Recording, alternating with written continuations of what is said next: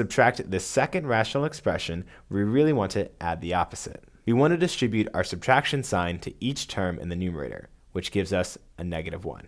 Now we factor each denominator and try and find the lowest common denominator between the two fractions.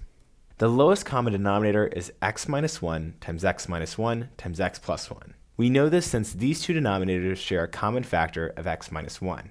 The other factor for this denominator is x minus 1, and the other factor for this denominator is x plus 1. We multiply each fraction by the missing factors of the lowest common denominator. For the first fraction, we distribute 6x to the quantity x plus 1. We'll get 6x squared plus 6x.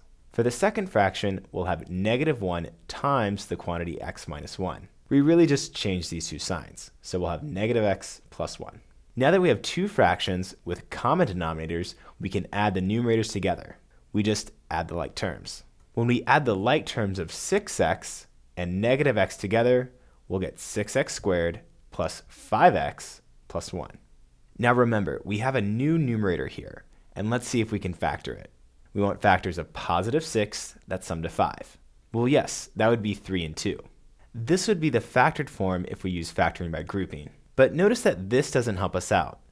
None of these factors appear in our denominator, so we can't simplify anymore. Our final answer would be 6x squared plus 5x plus 1 divided by the factors of this denominator.